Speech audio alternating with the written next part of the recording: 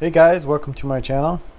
So tonight's video is about this little uh, Bedini window motor I made. Um, I actually had this on a different configuration before uh, with OptoTime and stuff, but um, I made it to where these actually come off. So you unscrew these and you could take the coils off. Um, there's two of them. The inner magnet, if you could see it in there, it's just a round three quarter inch magnet on a quarter inch shaft. And um, this is the little Bedini circuit. So we have the transistor here, we have the diode in the middle, um, and then here's the resistors that you could change for different speeds and things like that. Um, at the moment, these are all in parallel, so both both coils are in parallel. And um, then as you come back, the typical Bedini output through the diode and out. Um, the negative of the output is actually connected to the positive of the first battery. So um, when this comes out of here, it actually puts these two batteries in series. So the charging comes through here into these cap dumps. These are the ones that I make and sell on my channel. And um, comes through here. This is a setup for 16 volt discharge, so it's right around 16.5 through the ammeter and then into the second battery. So we're gonna fire this up and you can see how it runs. It's the circuit's really interesting. Um, as you'll be able to see, it, it doesn't really act like an opto timer or something like that, but let's check it out.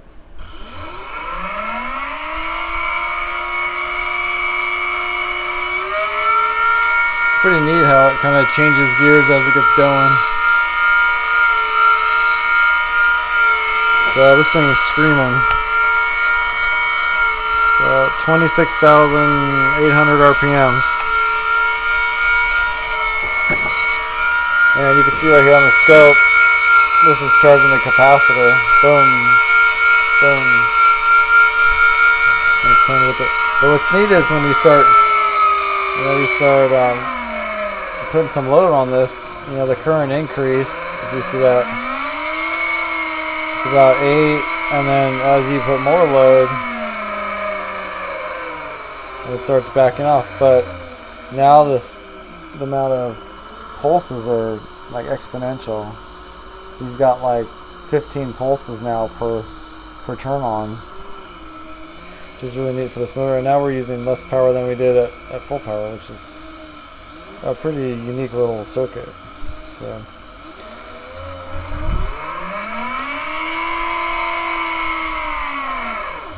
And this is not self-starting, so you want to start this way, you can.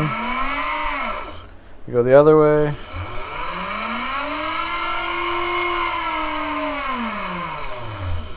So pretty neat little little system. Um, like I said, these are in parallel.